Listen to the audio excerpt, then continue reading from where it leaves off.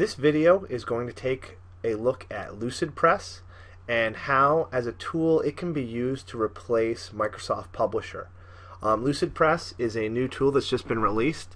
It has an app and it also has a website. Um, it's made by the people who made Lucidchart, which is a web-based tool that you can use to replace um, inspiration. It's good for mind mapping. Um, what's nice about LucidPress is some of the tools are very similar to that. But we're going to take a look. Um, we're going to look at how you use LucidPress, what it can make, and how you can link it up with your Google Drive account to make it even easier to access. Once it's linked up, it is literally the same steps as creating a new word processing document as it is to create a LucidPress document. If you navigate to the LucidPress website, all you have to do to sign in is click the sign in button.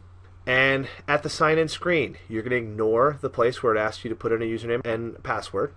And instead, you're going to go down and click the Google icon where it says or sign in with Google. If you're logged into Google Chrome or you're logged into your email, it will find that login, it will create an account, and link it up with LucidPress. And what pops up is the LucidPress dashboard. You'll notice it's very similar to the Lucidchart layout, but it's also very similar to Google Drive. If you look on the left, you have a create button along with some folders. Um, you're able to create more folders. You'll also see your files over here, and if you click on each folder, you'll see different groups and organizations of files. Now here are two samples I've opened. If I click on one, or over at the right, I will see some basic options, including clicking an Edit Document button to open it up for editing. I can rename it, I can copy it, I can delete it, or I can convert this to a template, which can be very handy if you want students to use something you created as a template. It will create it as a read-only document that they would have to make their own copies of in order to make changes to. Um, it also lets you control your sharing permissions here. Much like Google Docs, you can share these files with each other and they can be collaboratively constructed and worked on. Now if you would like to create a new document, you click on the create button at the top left and you give you get two options new document or new folder. New folder is what you'd create to organize your files but new document is what you're going to create to create a new file. If I click on new document I get this huge collection of templates I can choose from. Now before you start scrolling down I want you to look over on the right and you're going to see kind of a table of contents. Um, this particular one is showing us templates for digital publishing. That means we're creating things that are mainly meant to be viewed on a computer or on a phone or on a tablet. And that kind of seems to be where a lot of businesses are going with advertisements. You're seeing less and less mailers and more things that show up electronically.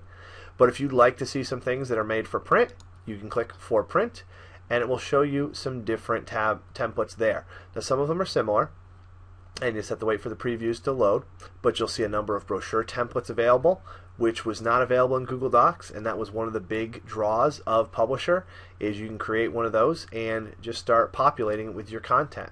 If I scroll down I see there's a lot of different choices that you can use to create something. Newsletters, many different things, invitations. Now it also gives you some categories to search through. You can look for brochures. If I click on that, it gives me their main brochure templates. I can look for flyers and see those. So there's a bunch of different ways you can kind of search through and find what you want to use. Well, I'm going to grab this brochure right here, listed as brochure 5. I'm going to click it, and it's going to open it up. Once LucidPress loads, you're going to see it starts off by asking to name your document. So I'm going to say project 1, just come up with a generic name, and click OK much like Google Docs, everything I do, every change I make is going to be automatically saved. Um, up here at the top left, I see the name. I click on it. I can change that at any time, just like in Google Docs. Um, very similar to most programs I've used. I have a bunch of different options up here. Um, but you'll see there's a lot of different icon tools over here on the left. Many of them are pretty self-explanatory, including adding text boxes, bringing in YouTube videos, bringing in pictures um, bringing in stuff from your Drive account. Very easy to get started on. You'll also see that you have this whole brochure kind of filled in and you can just start clicking and changing the, the text and putting in your own content in no time at all. So I can delete this content and add my own and it's going to be formatted to kind of match the theme of this. So that's up to you. Now across the top you'll see some basic formatting tools. These are very similar to things you've used in the past. Um, on the right hand side there's some other tools that you can use to kind of uh, make some different changes to your file. The page settings brings up how you want it to look. Do you want it to be, um, you know, what page size? Do you want it portrait? Do you want it landscaped? Um, there's a bunch of different choices you can experiment with. There's a graphic choice. Anytime you select a graphic, you can come in here and change some of the features of it. Sometimes you can change the lines surrounding a square or a shape. You can also change the the look of something, the color of it. You have some basic text formatting tools here where you can uh, have use these sliders to kind of create um, different borders and where the text is going to be when you use it. You can also choose to allow certain things to happen, all caps, small caps, things like that. The wrap tool helps you format different things when you're going to insert it into your um, your page. You have the uh, paragraph tool. This gives you some different styles you can choose to have different things automatically formatted. So when you add certain things, it's going to kind of stick to these rules. You have your inline styles, which I'm not 100% sure on how to use yet, so we're going to kind of skip over that. Um, one of the ones I found useful is the metrics. This allows you to kind of manually control the size of different objects. You can use the, the little sliders to adjust them, where they're going to be. Um, you can also use this to change orientation, to flip things. So it's very handy if you want to do some different um, customized things with graphics or things you bring into it. And then the layers. This allows you to work in layers. If you want to have certain things overlapping or on top of each other, you can use this to create layers and uh, to be a little bit more in depth in your design. One of the features that makes Lucid Press very cool is it also shares just like it does in Google Docs.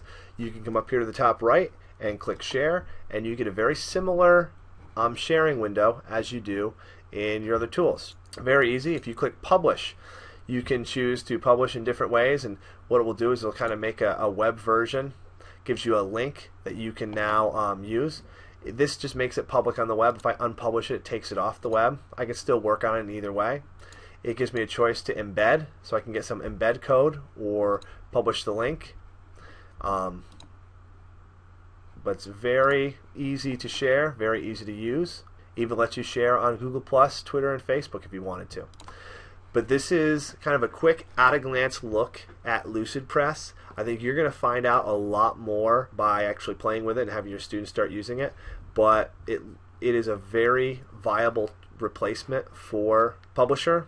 Plus, it's free. It's a part of our Google Apps, and you can use it on any any computer, any Chromebook, or any computer at home or in school. So the next video will be taking a look at how you can link this up with your Google Drive account to make it easy to access.